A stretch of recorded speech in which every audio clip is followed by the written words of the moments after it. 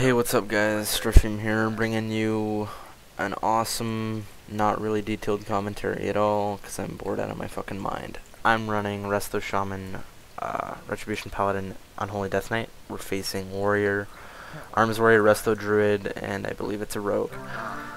During this fight, my DK is constantly being hit pretty fucking hard after they go on me at the start, and I basically get to go off on this warrior and kill him while he's being CC'd.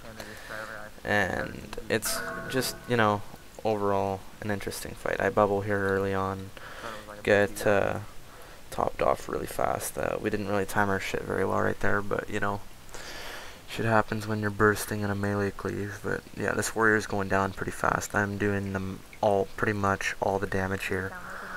Um, you can see that you know, he's like I'm just doing a shit ton of damage. I don't even know if he popped reck. I don't feel like looking, but yeah, he's dead.